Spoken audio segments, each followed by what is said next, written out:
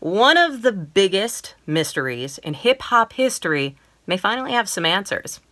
It's Friday, August 21st, and this is the current music news.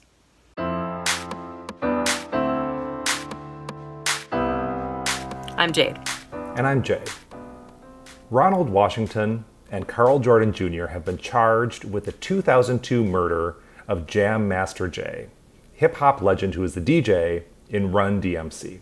Why are these charges only being filed now in 2020? Why is this crime taken so long to crack? Today, we're going to do our best to explain. A grand jury returned an indictment uh, here in the Eastern District of New York charging uh, two defendants, Karl Jordan Jr. and Ronald Washington, for their involvement in the murder of Jason Mizell, uh, who I think you all know uh, was known as uh, Jam Master Jay and, and part of the group Run DMC. All right, so first of all, let's just start with Run DMC 101 for those of us who aren't totally caught up on our 80s hip hop. So, Run DMC, they're a trio they're from Queens, New York. They got started in 1983. Uh, there is Joseph Simmons, aka Rev Run. There's Darryl McDaniels, aka DMC. Those are the rappers. And then there is Jason Mizell, aka Jam Master Jay. And he was their DJ. With their streetwise image and booming sound, Run DMC were crucial artists who moved hip hop beyond its disco twined 70s roots and helped pave the way for the genre to become one of the biggest sounds in popular music. Run DMC's peak years were in the second half of the 80s with hits like You Be Illin, It's Tricky, and the game changing Aerosmith collaboration Walk This Way.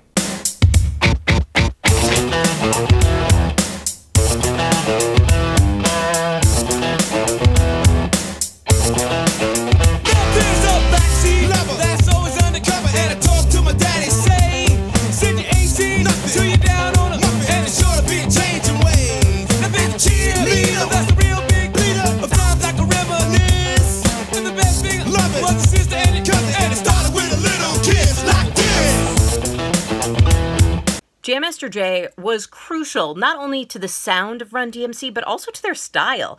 Uh, so think of Run DMC in your mind, right? That black fedora, the track jacket, and of course, my Adidas. You can't leave those out. That was Jam Master Jay's style, and it became Run DMC's band uniform.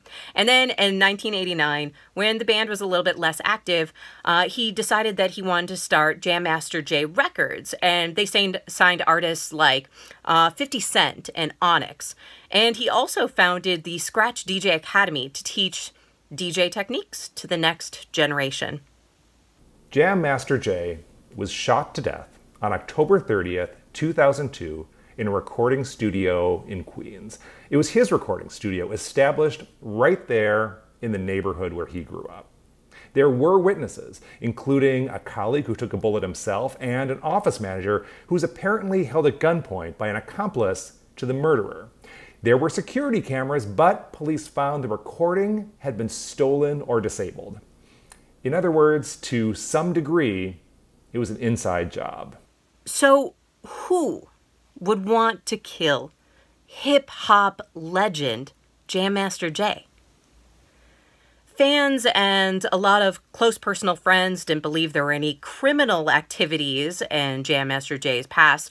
So a lot of conspiracies started, including one uh, that he had got kind of caught up in 50 Cent's life. You know, sort of inside some beef between 50 Cent and some dangerous people from his past. Uh, but there was really no evidence for that. Year after year went by, and the case remained open. To a lot of the DJ's friends, family, and fans, it looked like an example of what a low priority the NYPD put on solving the murder of a black victim from the hip hop world. The fact that someone as famous and beloved as Jam Master Jay could be murdered in cold blood in front of witnesses in the middle of a busy city, and the case could remain open for nearly two decades, looked like evidence that the police just weren't making it that high a priority. As the years went by, more and more information about the story circulated. And it turns out, well, in fact, yes, Jam Master Jay did have some illegal activity with drug deals.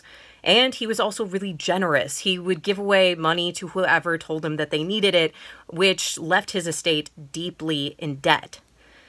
A documentary about the case came out on Netflix in 2018, and in the end, the filmmaker came up with two names Ronald Washington and Karl Jordan Jr. Both were known to the artist. Both of them would have had access to the studio to be able to disable the cameras, and they were well known enough to be able to be buzzed in. It's a lot of mystery. We had 50, 60 different tips. Hypothetical. The security cameras had been tampered with. The police didn't seem to have any substantial evidence. According to the charges, the motive involved a cocaine deal gone wrong.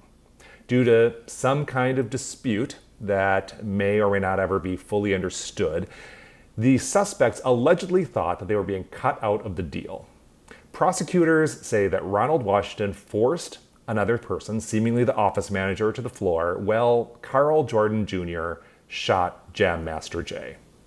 The suspects have pleaded not guilty. Jason Mizell's mother, who was interviewed for the Netflix documentary, uh, didn't live to see this day. She died last year. But Jam Master Jay's son, Jesse Mizell, who spoke on behalf of the family, said, Upon hearing this news, we have mixed emotions. We truly hope that these indictments are a solid step towards justice being served in the murder of Jay.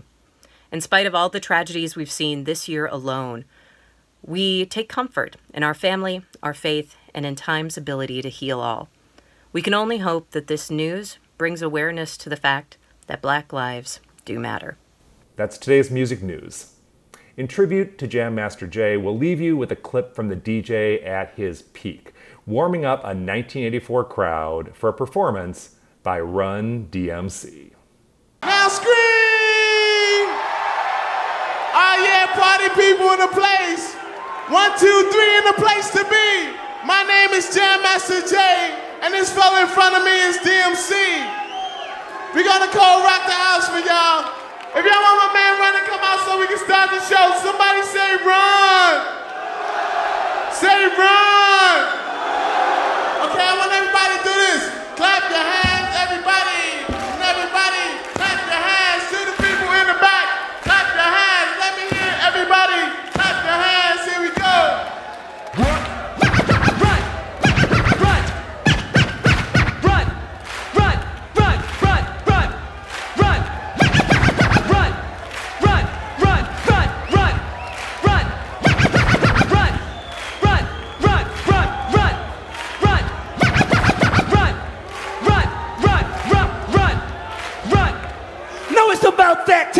For us to save the will. Run. DMC and Jam Master Jay.